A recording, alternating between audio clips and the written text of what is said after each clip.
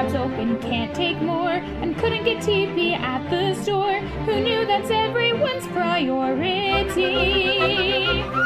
I've published Canvas and tried Zoom. I've done all of this from my living room. Hope my students can work diligently. There won't be any real life people. It'll be totally strange. But you know we'll handle this quick change.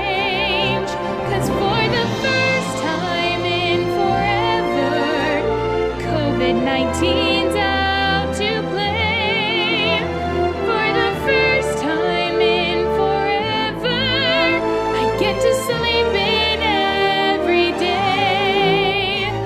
Don't know how to use Zoom exactly. I guess that's not a good sign.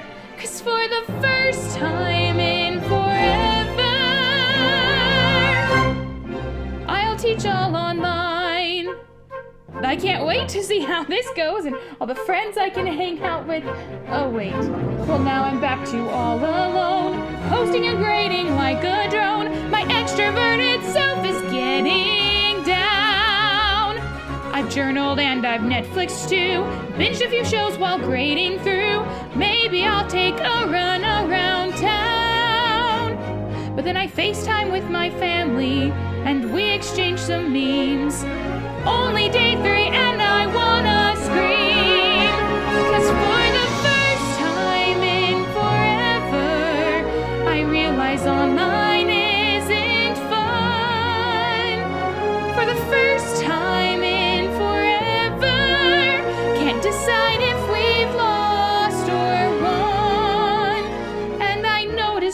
crazy to teach language online, but for the first time in forever,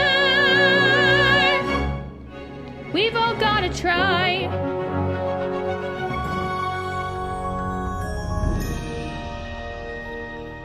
Can't let friends in, can't get a see.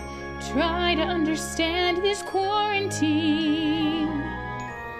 Conceal and clean all day with mom and all my siblings. We will not last long. But we're only on day three. Only on day three. Homework makes me want to scream. Grading makes me scream. Please